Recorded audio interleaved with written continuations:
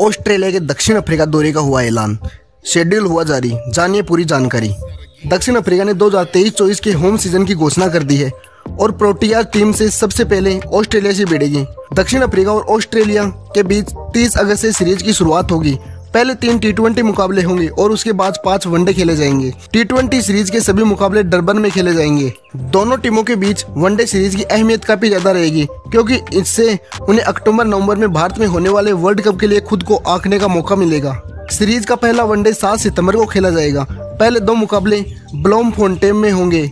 इसके बाद शेष तीन वनडे अलग अलग वेन्यू में खेले जाएँगे। अंतिम मुकाबला 17 सितंबर को खेला जाएगा। वर्ल्ड कप के लिए ऑस्ट्रेलिया ने सीधे तौर पर जगह बना ली है, लेकिन दक्षिण अफ्रीका का स्थान अभी पक्का नहीं हुआ है। टेम्बा बबुआ की टीम को सीधे तौर पर क्वालिफिकेशन के लिए आगामी आयरलैंड बांग्लादेश वनडे सीरीज़ के नतीजे पर निर्भर रहना होगा।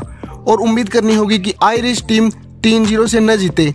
अगर आयरलैंड क्लीन स्वीप कर देता है तो फिर दक्षिण अफ्रीका को वर्ल्ड कप में जगह बनाने के लिए जिम्बाब्वे में होने वाले क्वालिफायर टूर्नामेंट में खेलना होगा।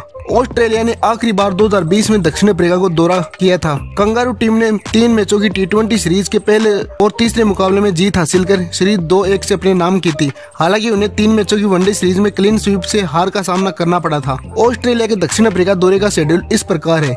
तीस अगस्त, पहला टी जो की डरबन में खेला जाएगा।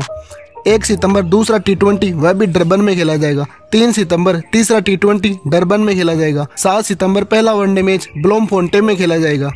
नौ सितंबर दूसरा वनडे मैच ब्लोम फोन्टेन में खेला जाएगा। बारह सितंबर तीसरा वनडे मैच पोर्टचे फर्स्ट्रूम में खेला जाएगा। पंद्रह सितंबर चौथा वनडे मैच, सेंचुरियन में खेला जाएगा। और आखिरी वनडे में सत्रह सितंबर को पांचवा वनडे मैच, जोहान्सबर्ग में खेला जाएगा।